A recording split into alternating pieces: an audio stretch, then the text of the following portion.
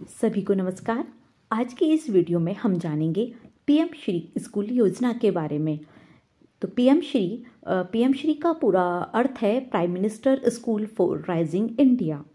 ये केंद्र सरकार की एक योजना है, जिसकी घोषणा केंद्रीय शिक्षा मंत्री श्री धर्मेंद्र प्रधान जी ने जून 2022 में की थी। इस योजना का शुभारंभ हमारे माननीय प्रधानमंत्री श्री नरेंद्र मोदी जी द्वारा 5 सितंबर 2022 को शिक्षक दिवस के अवसर पर किया गया है। इस योजना के तहत पूरे भारत में चौदह हज़ार पाँच सौ, जी हाँ चौदह हज़ार पाँच सौ स्कूलों का विकास और उन्नयन किया जाएगा। इन स्कूलों को मॉडल स्कूल के रूप में विकसित किया जाना है। इन स्कूलों में नवीनतम तकनीक, स्मार्ट क्लास, खेल और आधुनिक अवसंरचना पर विशेष ध्यान दिया जाना है। ये स्कूल हरित स्कूल होंगे। इस योजना में आने वाले खर्च को केंद्र सरकार वहन करेगी और राज्य सरकार को इस योजना पर अमल करने और निगरानी करने की ज़िम्मेदारी दी जाएगी।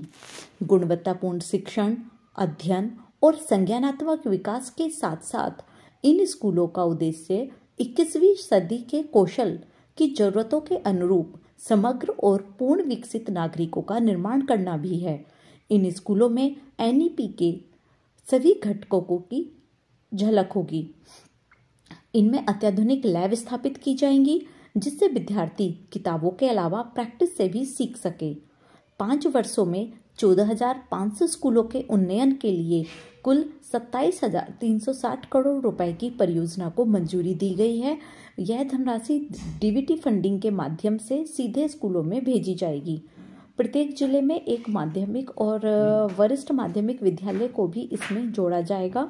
इस योजना से 18 लाख से अधिक छात्रों के प्रत्यक्ष लाभार्थी होने की उम्मीद है।